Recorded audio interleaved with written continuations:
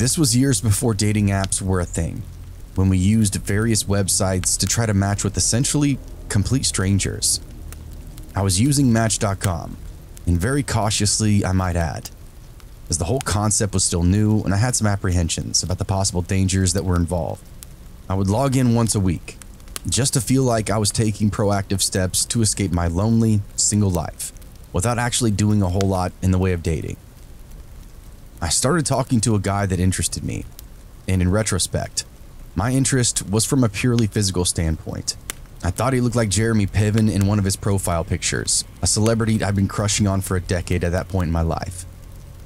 Had he not looked like Piven, I'd have never been caught up messaging him and would have never gotten involved. When we met up, I knew things wouldn't go well. First of all, he looked nothing like my crush. He looked like the character from the Diary of a Wimpy Kid series skinny, poofy, receding hair, timid. He catfished me pretty hard and didn't seem interested in addressing it in the slightest. His first tactic was to drown me in alcohol. We met at a restaurant and started with a round of cocktails. He insisted on shots multiple times in between our first and second rounds, which practically came at the same time because we drank them so fast. There wasn't any bread or starter food, so my stomach was on its own with all this booze. He'd gotten me drunk before our entrees even hit the table. A pair of Manhattans came to the table just as we finished eating, another treat he insisted on. By now, we'd had six or seven drinks, way more than the amount I'm used to. It got to the point that I insisted that I needed to go home, which he obliged almost too happily. In fact, this later on, as you can imagine, turned out to be a huge mistake. Never ever let these kind of people know where you live. It will come back to bite you in the ass. He parked in front of my duplex, but kept the doors locked. He was assuming we'd have sex in the car before I stumbled my drunk ass inside. I was so plastered and in such a state of disbelief, all I could do was laugh. We were going to drunkenly get it on out on the street, like a couple of high schoolers. Suddenly, I realized this guy was a legitimately a loser. The whole thing from start to finish was just a plot to get laid. Again, you have to remember, this is in the days of Match.com. I was one of the many women looking for love on the internet. I admit that my interest in this guy stemmed from what I perceived as his good looks. But using a dating service just to get laid was crazy to me. What a bizarre way of scoring a hookup, like tons and tons of extra work. He didn't get it, and I had to lay it out flat that I was refusing to sleep with him in the back seat. So it's a no after all that? He asked. I'm sorry, was all I could say. No, you aren't. If you're sorry, let's just do it, he said. It was all pressure, but I continued to deny him. His face turned darker and darker until he finally gave in. Fine, be a bitch, he said. What? I asked. He continued to berate me the entire time I sat there. He picked every flaw from my features and didn't just examine it, but blew it up. He made me sound like the ugliest woman he'd ever seen. It didn't stop with the physicality, though. Nothing was safe.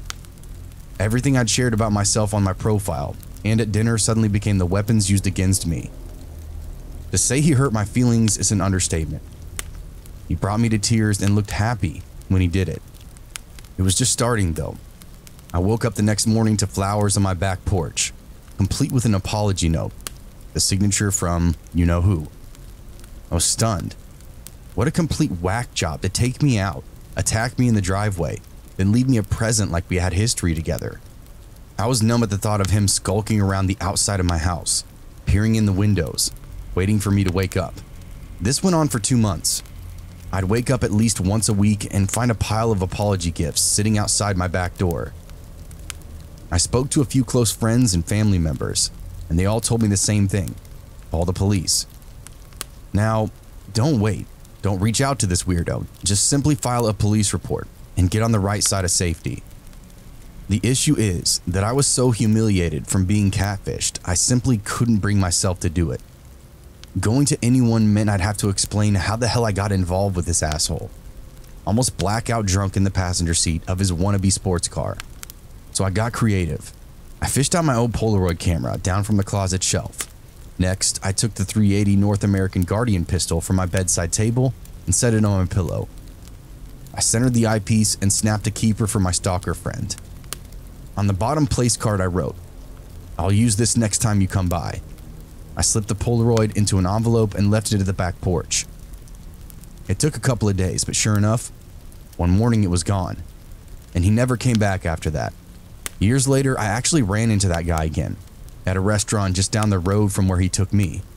He was alone, balding, generally looked like hell. I was with my new husband, who had heard several stories about this guy. My husband stared him down until he actually paid his tab and left the bar altogether.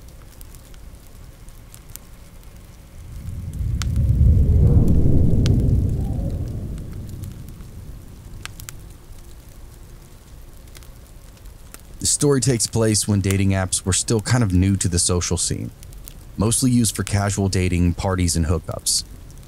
I started using several of these apps probably due to the social pressure, plain curiosity, and also partly because I'd seen my friends have so much success. It just seemed like an innocent pastime for a single and promiscuous people. Like everyone back then, I heard the horror stories and urban legends about online dating.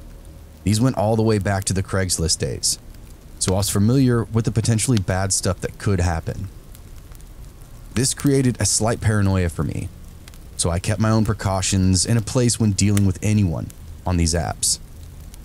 I have a slight fear of men in general, so I really use these apps as a buffer between myself and possibly harmful people. One day, I matched with a guy and we picked up a conversation pretty much immediately. He was cute in all of his photos and really seemed to be clicking with me. So the exchange is heated to the point that we're hanging on each other's every single word. For someone like me, I perceived it as a genuinely passionate exchange. Not sexual or anything, but just two people excited to learn about one another. He asked for my phone number, to which I agreed. Texting was still somewhat new back then as well, so exchanging numbers solely for the purpose wasn't out of the ordinary. We sent only a few messages back and forth before he asked me for my Facebook and Tumblr account. This started to creep me out because I hadn't mentioned using these social medias. It was like he knew what websites I used. I know it's dumb, but sharing my personal accounts was one of my precautions back then. I know he already had my number, but having my social media accounts would mean he could identify me, things about me, where I live, and all that other stuff you don't want to think about so I told him I wasn't comfortable sharing that information. He said that was okay because he's a spy. He already knew everything he wanted to know about me. I laughed and tried to joke with him, but he brushed it off like he wasn't kidding. I started getting knots in my stomach because this was getting weird and felt too close. I wished I wouldn't have given him my number so easily. We kept texting for a little while until he started casually mentioning personal information about me. My last name, the street I lived on, the school I went to as a child. It gives me chills to think about all of the random stuff he somehow learned about me. It's easy just to chalk it up to him actually being a spy, but what are the chances of that? Zero, probably, so how did he even know? He went on at length about how he was so relieved that I wasn't catfishing him, that I was an honest girl, not giving him the runaround. I got defensive. I started calling him a creep to which his only response was laughter in all the capital letters. As I said before, this was when texting and dating apps wasn't really as high tech, so you couldn't like text bomb people. And that's where you'd send the same text to someone's phone dozens, maybe even hundreds of times. He text bombed me with these ha-has every time he sent them. I know it doesn't sound like anything, but it was chilling to receive. I was upset and scared. All I could do was get laughed at. After a while, I just stopped responding. It didn't matter, as he just continued to blow my phone up for several more hours. After a week, I finally went to my service carrier's office and filed for them to have him block his number. This seemed to work, as I never heard from him again. It also proves he wasn't a secret spy or whatever he claimed to be. He was just a techie weirdo. The whole thing was very isolating and demeaning. Don't make a habit of handing out your phone number to people.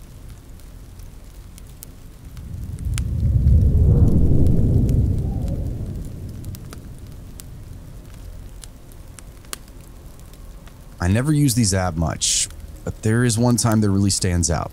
It just happened to be from a dating app. I matched with this girl who's really pretty. She's plain and seems to want a simple night out. No tattoos, no urge to party, and doesn't seem to be into drugs. All signs point to a nice, quiet night out. We agree to meet up for dinner and test the waters of conversation.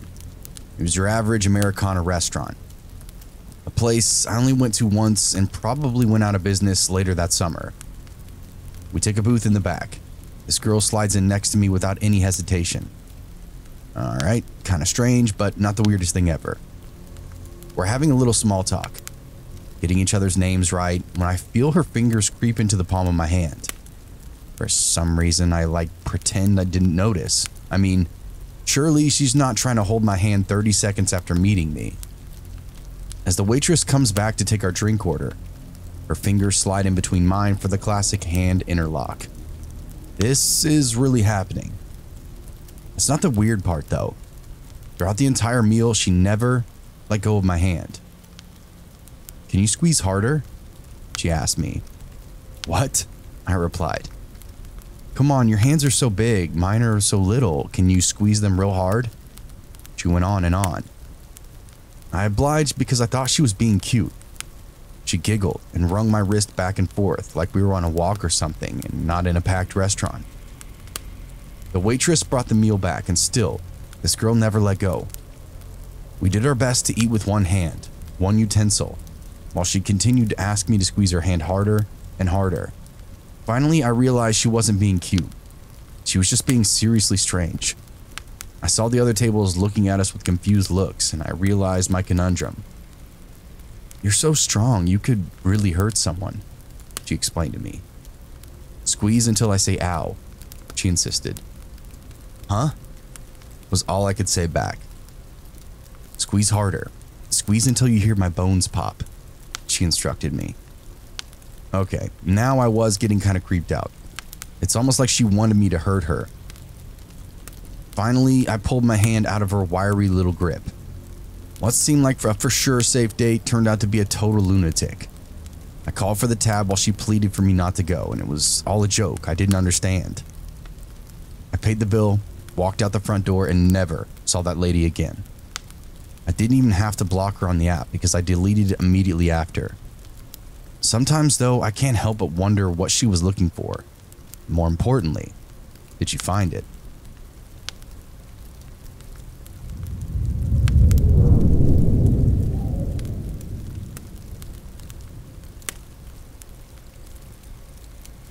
I used to have a job that was adjacent to sex work. It was completely legal and it made me a decent wage and allowed for a lot of free time. Was it safe? Not really. Was it fun? Probably too much. I was at a strange point in my life where danger equated excitement. Now, since I was always having this casual fun through my line of work, used a lot of dating apps to fill some of my time. I had it in my head that work was work. These were guys that paid my bills, not anyone I'd ever consider getting involved with. I thought I'd just find a casual boyfriend through an app, not realizing this person probably wouldn't be cool with my lifestyle, just to put it plainly. I matched with the guy I was head over heels for. Without going into too much detail, he looked and talked like the guys I dreamt about. He was so tailored to my taste that I actually kept him a secret from my friends. I thought if I shared my discovery, it would tarnish it in some way, like one of my friends might steal him from underneath me before I could even meet him. In hindsight, maybe I thought it was too good to be true. It's what I call getting love bombed, the honeymoon phase. Two people seeing the most perfect versions of one another, long before anything can be spoiled by who they really are. I was getting love bombed bad. I wanted to talk to this guy at all hours, so it was starting to affect my job. Finally, we caved and just made plans. No wasted time in dinner or a bar. He gave me his address and I dropped by late one night after work. It was explosive from the start, literally from the moment we met at the door. Was raw and passionate. None of the sterile structure I had at work. Like I could really let go and to succumb to whatever I wanted to do with this guy. He changed as things got heavier though. He started talking to me in a way I really didn't like. He'd talked dirty to me since we first started chatting, but this was a step beyond. It was mean and degrading and honestly a little scary. I thought you liked this, he said. I didn't really know what to say. He started telling me about where I worked and what I did while I was on the clock. Suddenly, I understood that this was a setup by someone who knew me from the club. We were naked, interlocked in his bed with his hands around my throat, and in that moment, there was absolutely nothing I could do but give in and try and survive. I'm gonna keep this part of the story brief, as it's a bad memory for me, horribly visceral, and a trigger for many others. The sex turned so violent that I was in and out of consciousness. The few people I've discussed it with just tell me that I passed out. When we're done, he insisted I spend the night. It was a traumatizing evening of waiting for the worst to happen. Would he beat me? Would he rape me again? I didn't know what to expect, but knew what could happen. It was scary and nauseating to be there at all. When I finally got out, I went straight to my coworkers, who were not very supportive. Half of them didn't even believe me. The other half assured me it was just a misunderstanding. A few of them even knew the guy I was talking about and promised me that he'd never do that. It was awful to escape that situation, only to find myself the villain on the outside. Next, I went to my real friends, people I knew outside my line of work. They knew what I did for a living and kind of blamed it on that. Said I shouldn't have made myself available for situations like that. It was my first experience with the victim blaming in the early 2000s. That left me alone with my worst fears. I decided to go to the clinic and get tested. Something I could do within my power that would yield pragmatic results. I didn't know what that guy did to me. Was I pregnant? Did I now have an STD? Finding out would bring me at least a little bit of peace. I went and did the testing, then lingered in the waiting room for a few of the quicker results. It was quiet and kind of cozy in there, so I didn't hesitate to nest myself amongst the fuzzy chairs, old magazines, and ratty stuffed animals. I zoned out on my phone and took a little solace in being able to hide out for a minute.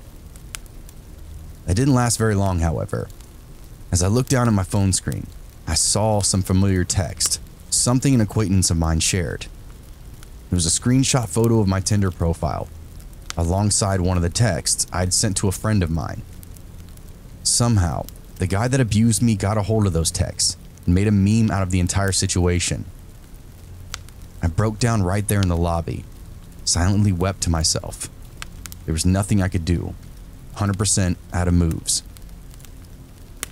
I got out of my career field not long after. The scariest part about the whole ordeal was how no one took me seriously because of my profession. I was pigeonholed in this weird, self created hell purely by my line of work. Don't ever let anyone tell you how things are just because of your lifestyle. All of my results came back negative. Aside from the emotional damage, nothing stuck. I fell off his radar after a few weeks and he moved on to another victim.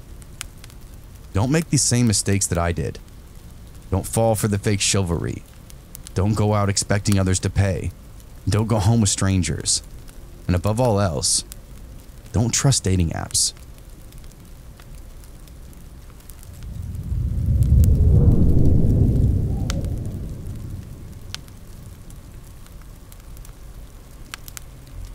Met a guy on OKCupid, which was a dating site turned dating app at the time.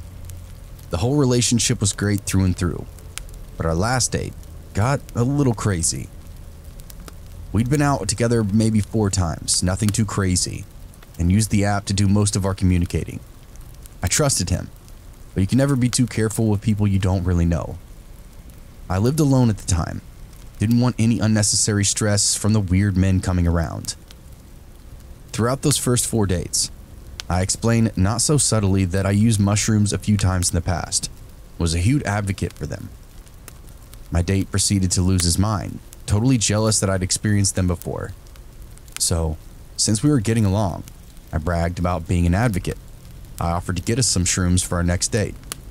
We agreed not to do anything crazy. There was a parade that weekend, and I suggested that we eat a small amount, then wander around to see the festivities.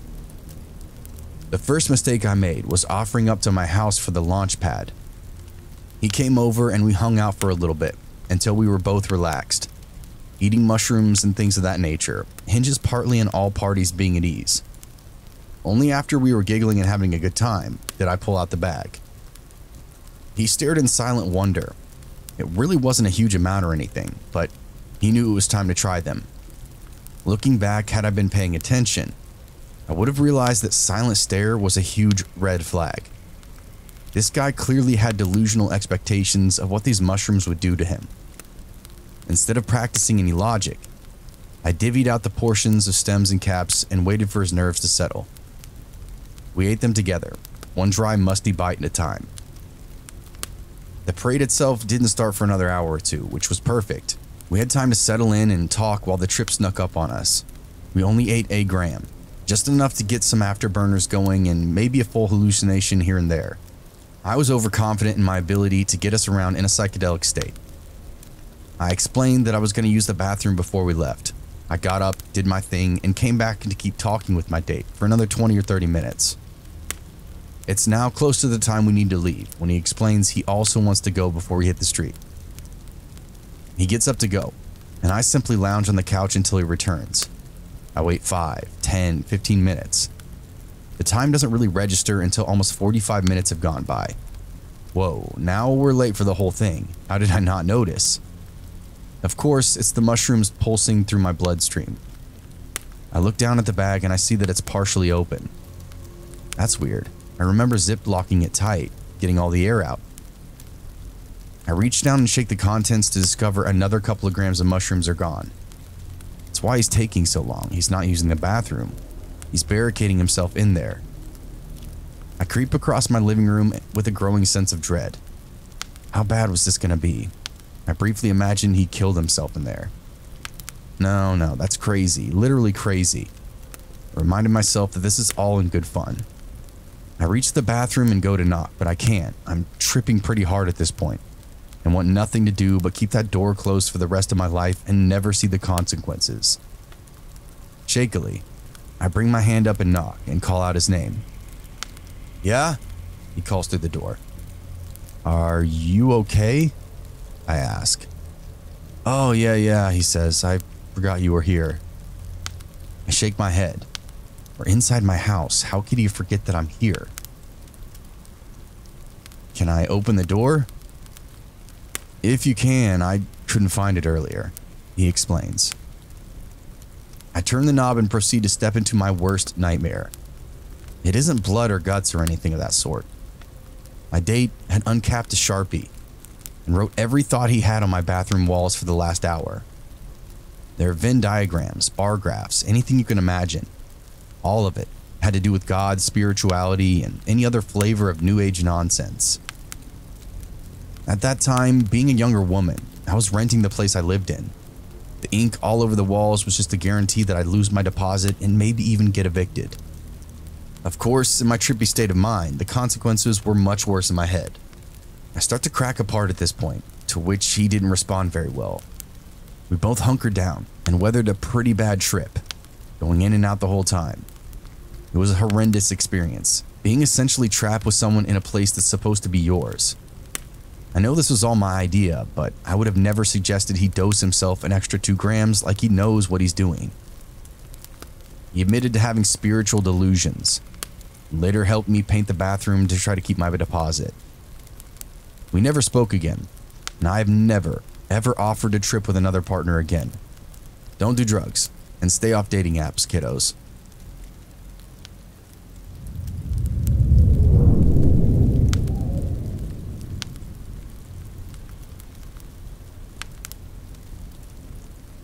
I used Tinder and other dating apps when I was younger and single. One day, I matched with a guy who was almost 10 years older than me, as I was only 21 at the time. Despite the age difference, which did kind of throw me off, we clicked really well. Many of our interests lined up, and even had some of the same concerts. Having so much in common with an older guy was a real confidence booster. He went on, and in just a week, he suggested we waste no time falling in love. He made it clear he wanted to sweep me off my feet. And there wasn't any sexual pressure or urgency at all. This was a genuinely nice guy who wanted to be sweet on someone. Later, he implied that we should move in together. He started making a checklist of our personal items, seeing what we had doubles of and what we had none of. It was tedious and cute, and a great way to make small talk. It reminded me of the game Go Fish, except it was a dating version for adults. Lastly, he said that he would be happy to adopt my daughter. This was a huge thing for me at the time, being young, newly single, and even newer yet, made a mother. He described all the duties and roles he'd love to fill, which hit every mark for me. This was like a dream come true. Now, this was all expressed before we'd even met. This was just seven days of talking. Looking back, it's some of the most psychotic stuff I can imagine, but I was young courting weirdos on dating apps. Mr. Say It All didn't say a word in person. We met each other at a nice restaurant for an early dinner and just sulked for two hours. There's no other way to describe it. I tried speaking to him for a while, to which he would nod or shake his head or simply not even react. What he would do is stare at me for an eerie, uncomfortable amounts of time. Deadpan, emotionless staring right into my eyes. If he moved his eyes to another feature of mine, he would deliver the same merciless stare until his eyes moved again. I've never seen anything like that in my entire life. We split the bill and I went home. We communicated through texting for another week as I struggled to let him know that I was no longer interested. He mentioned planning a second date, which forced me to finally come clean. We had a back and forth discussion for maybe an hour about essentially the same thing. We weren't going to talk or see each other anymore. To which he would say he didn't understand, and then continued his gushy, smothering talk.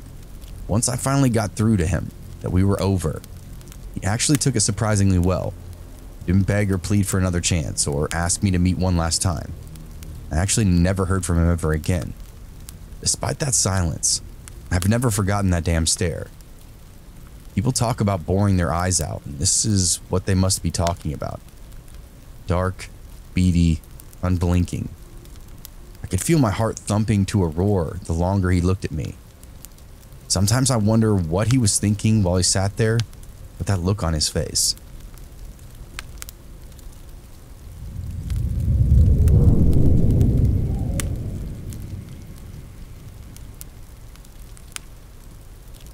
I met a girl on OKCupid many, many years ago. I'd gone through a devastating breakup a year prior and haven't recovered well in the following 12 months. I got on the apps and started rooting around with no real idea of my intent. There's one thing I'd for sure like though, observing these people through their profiles and messages. You could tell some girls were absolutely wild, but then there were some who just seemed to be obviously crazy and when I say crazy, I don't mean whoa, she's gonna regret that in the morning. I mean clinically insane. People having meltdowns in a cyber setting. I matched with one of these girls. She was attractive and kind of my type, short of the explosive mental unrest. We exchange a few messages that range from curious questions, oversharing, threats of violence, and eventual sexting. This girl is top to bottom off of a rocker. We meet up for a lunch date where I really get the scoop on her. She orders a cocktail and then tells me that she eats 8 Klonopins a day. For those of you who don't know, a Klonopin is a benzo known for relaxing the brain. So it gets loosely prescribed to treat panic attacks and anxiety disorder. It can also be wildly addicting. Eating 8 pills of these a day is like hearing Evel Knievel jump 500 buses or something. It shouldn't be possible. Like a train wreck, I couldn't bring myself to look away. Again, she was attractive to all my specific tastes. Batshit crazy to boot. I needed this girl more than she needed me. I needed her unpredictable outbursts. I needed her over emotional manipulation. I needed to see her threaten people in public and then have a meltdown about it later. I wasn't clicking with this girl. I just liked the chaos that she created. I would actually regularly tell her that this wasn't working and had no foreseeable future. She didn't care. This girl was so certifiably crazy that she was legitimately detached from reality. After something like six weeks of regular dates, I finally broke it off. It was clear how toxic the entire relationship was, and clearly, I'd contributed to that. But it was purely from a point of spectating. This girl was going to be crazy either way, and for a short time there, I got a front row seat. I know breaking it off would be messy, just based on what I saw, but never could I have predicted just how far she'd go. We had a series of dates that ended in a fiery confrontation with waiters, bouncers, whoever the local authority was. Taking this girl out was starting to become a problem that could have long term consequences. So one night, she came over, having the same expectation as usual. We'd pregame, roll around, jam to some music, and then map out whatever bars we wanted to land at. But this time, I just told her no. We were at the end of the line. I've been talking about since day one, and we wouldn't be making plans anymore. She did not take that well. In fact, she didn't take it at all. It was like she didn't even hear me. Again, to say this girl went by the beat of her own drum is an understatement. It'd be more accurate to say that she was constantly navigating a state of psychosis. She was nice enough to turn around and throw that all on me, and honestly, I probably deserved it. You don't get to take a picture of a rattlesnake without risking getting bit. That being said, it was a relatively easy storm to weather. She screamed at me, tried to coax me into a physical altercation, gave me crazy eyes and spit in my face. The general breakdown I'd seen dozens and dozens of times at this point. And like that, she was gone. She packed what few belongings she cared to take with her and slammed the door behind her so hard it cracked the glass in the window. I take it like I would any other win and count myself lucky that it ended there. But it didn't end there. I didn't use my OKCupid account for some time after dating that girl, probably just out of guilt. Either way, I received an email a week later informing me that my account had been banned and there could be a potential investigation depending on the nature of the closure of my account. I read the details over and over again, but none of it makes sense. I convince myself they must have the wrong guy and there is a mistake. That's when I start receiving Snapchat notifications. Over and over, one after another. I get the app open and find out it's the girl I just dumped. Yeah, you like that? Thought you were just gonna walk away? The message is read. They're all vaguely intimidating, lots of shit talking. She's putting me on full blast. What the hell are you talking about? I ask her. It all started to come together. She got my profile banned, and that's what the email was that I received earlier. She told them all kinds of crazy shit about me, enough that they forced to close my account. God knows what kind of insane, made up stuff she told them. It could have been literally anything. That's why the email from them seemed to be pointed when I read it. They were under the impression that I was using their app to abuse women. This was rapidly turning into a nightmare. She asked if I wanted to talk and make amends. I told her she was crazy and that getting involved with her was a huge mistake. She started sending me photos now, and not the fun kind. The entire rest of the night, I received endless pictures of different firearms, all placed in various positions alongside with various forms of ammo. I didn't even know she had access to this kind of thing, but here I am, on the business end of a benzo addict crazy person, showing me their arsenal. I think eventually she fell asleep or something as the messages stopped. I went in and blocked her on all fronts, and she was distracted and deleted whatever profiles I felt weren't necessary. The last thing that she said to me was to watch my back, which I actually did for a few weeks. She knew where I lived, but we were never actually exchanging phone numbers. Fortunately, she was pretty easy to lose after I broke it off.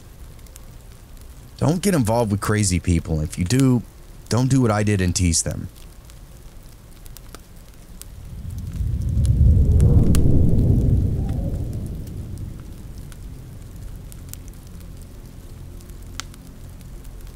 I got on the dating apps to start experimenting. I went through a crazy breakup and swore off men for good.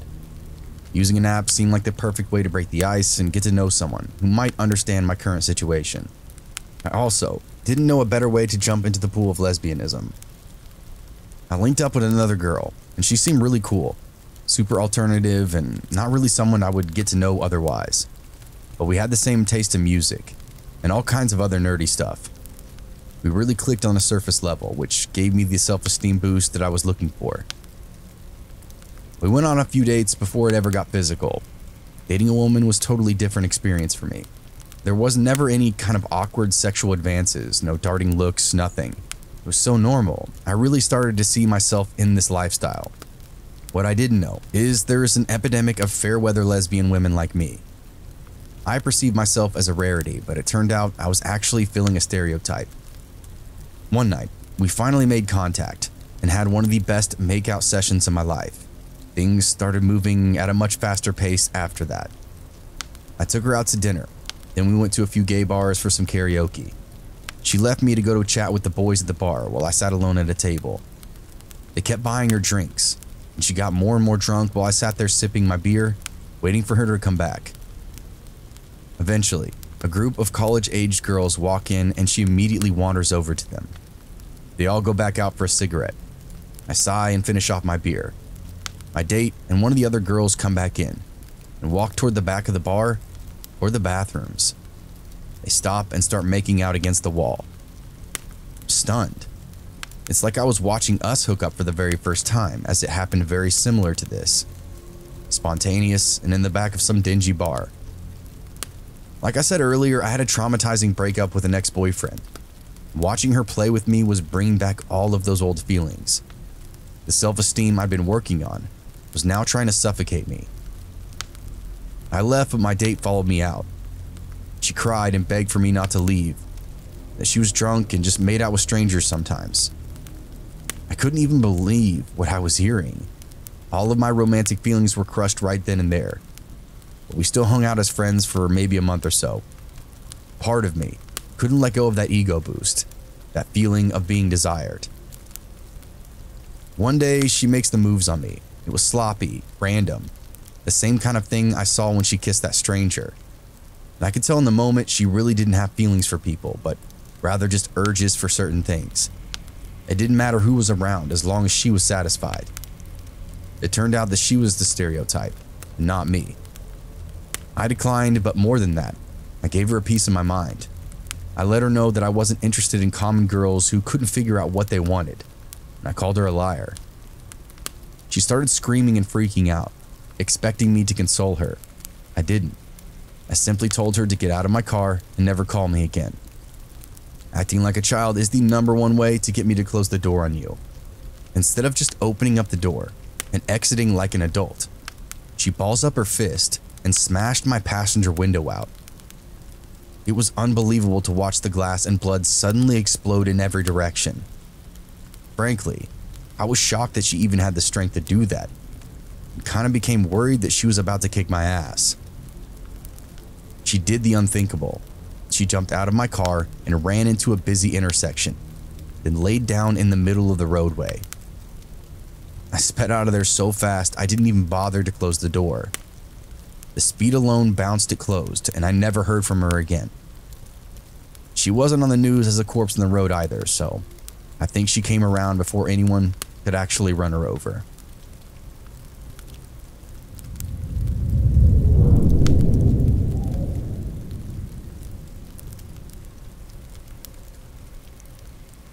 I'm a very outgoing woman, but I'm larger than most men like, so I have a hard time making connections. That being said, I was on every dating website and app for at least five years. It was the easiest way to stay current in the dating scene without constantly striking out. Dating people you only know through the web leads to some weird encounters.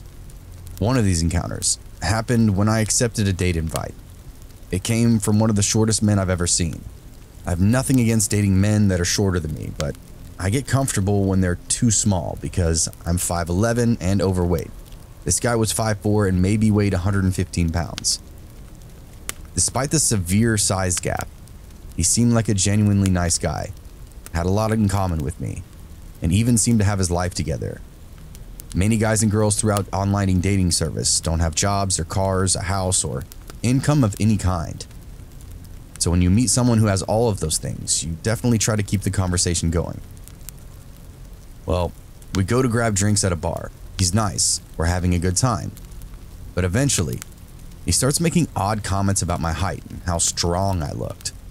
I thought maybe he was just a little socially awkward, but hey, it didn't seem malicious. But he didn't stop. Every other word out of his mouth was a compliment regarding my size. It got more and more uncomfortable to the point I couldn't enjoy myself anymore. And in a weird backwards way, I understood what girls meant when they complained about being objectified. It's like you aren't a person at all. Toward the end of the date, he ends up telling me that he has a fetish around being picked up, lifted, and squeezed by larger women than him. He says there's nothing else that satisfies him, and it's been this way for many years. Oh. Okay, well, some people have their thing, and at least I could kind of see what he was attracted to me physically for. So I agreed to a second date. Well, leading up to all of his messages, it started being about how he couldn't wait for me to lift him up in my big, strong arms, and how he wondered if I could lift him up over my head. Eventually, that was the only focus, and I'll admit I got weirded out and politely told him I was no longer interested in him. He took it surprisingly well for someone so forward. I was partly expecting the classic clingy, you're the only one for me kind of behavior. I judged him way too soon, as he turned out to be somewhat of a classy guy, just a little shameless with his fetish. But that wasn't the weirdest. The worst? I matched with a guy on OKCupid, but we never actually got a chance to meet. There was never any mention of a date. We briefly talk, and then he kind of fell off by the wayside for a few months. One day, he reappears in my message requests, apologizes for being absent, and explains that he was on another date with an OKCupid member for quite a while. No worries, that's what the service is for. He explains further that he and the other girl have broken up, but are still talking from time to time. Okay, splendid. Where do I fall into all of this? Between the two of them, there was very little chemistry, but apparently the sex was really good. They wanted to know if I'd be interested in a threesome to help elevate their bedroom play.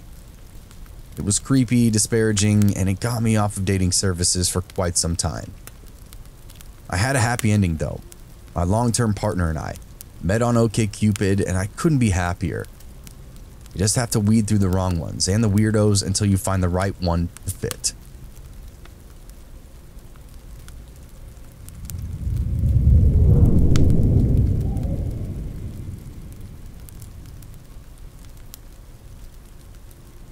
I had an OkCupid account for a few years, and I would occasionally get on there, mostly when I got drunk, and message people or check to see if I had any matches. One day, this cute girl messaged me. We really hit it off. It was just the usual get to know you kind of stuff, like, what do you do for a living? What are your hobbies? I told her that I work night shift at a local Walmart, and at the time, I didn't see giving her this kind of information would backfire in any way. But boy, was I wrong. We continued messaging for a few days, getting to know one another. She was a school teacher and a bit older than me, all of which seemed cool to me at the time. Being that I had a minimum wage job, though, I didn't really see much of a future between us. Our conversations were growing a bit stale, so, being the asshole I am, I decided the best course of action would be just stop talking to her completely instead of telling her that I wasn't interested. Whoops. A few days go by, she messages me a few times, but again, being an asshole, I didn't reply. I kind of remember it feeling good to be so sure in my actions. In my head, it was simple ghost this chick and she would disappear in no time. She didn't disappear, however. The messages turned outright hostile, asking me why I wasn't talking to her, why I didn't want to be her friend. It was a brick wall, though. Nothing coaxed a response out of me. I moved on and tried talking to other girls, no shame in my game. A few more days go by when one night about 2 a.m., a coworker comes up to me and says some girl was asking for me. At the time I didn't put two and two together, so I just shrugged it off. Then the following few nights at work, my coworkers keep coming up to me, telling me this girl is coming in looking for me. I finally remembered that I told this girl where I worked. People reported her in the parking lot for weeks, wandering from door to door around the building, going in and out. Someone is stalking the entire property after sundown. It was only a matter of time before she caught me somewhere around the store. The next night she found me. She came in with a guy and confronted me about ignoring her messages on OkCupid. She wasn't being hostile when she asked, so I told her that I'd been busy and hadn't been on in a while. So awkwardly, she said, Well, okay, just message me when you get home. At this point, I was a bit freaked out, but I stuck to my ways. I did not message her, hoping that she would just leave me alone. Of course, this only made things worse. She started showing up looking for me on my days off, continuing to ask my coworkers what my schedule was, and even for my home address. The next time I saw her was there around 3 a.m., again with this random guy that was different than the last one, asking me why I still did not message her. This time she was way more aggressive, saying, What kind of person does this to someone? And bad things happen to those kind of people. I doubled down and told her the same thing again. I've been busy and hadn't got on the website in a while, and then, as always, I continued to ignore her. After a few times of hearing that she'd shown up looking for me again, and me being afraid of getting stabbed to death by this crazy chick in the parking lot, it did finally stop. She stopped coming to my work and stopped messaging me. In the end, all my hard work and perseverance paid off. She moved on to stalking someone new. It took six weeks total, but all I had to do was absolutely nothing to make her realize it was over. More of the story ignore your problems, and they will eventually disappear.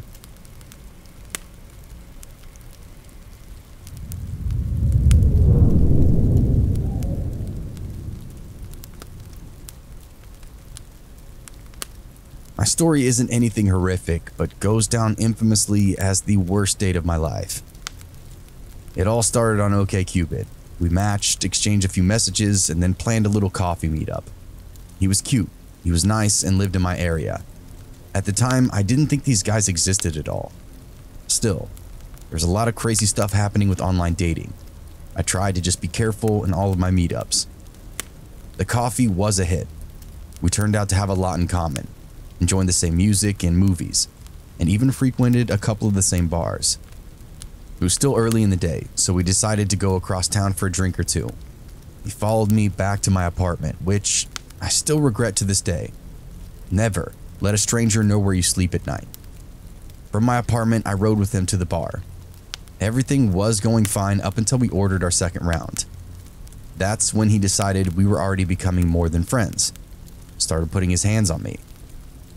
It was funny at first, but then he grabbed me around the back of my neck, and it honestly was the scariest thing ever. There was no reason for any of it, and it just totally set a different vibe. After the second round of drinks came, there wasn't any longer any space between us. He's drowning me with how close he is. Then he had the audacity to have me pay for the second round.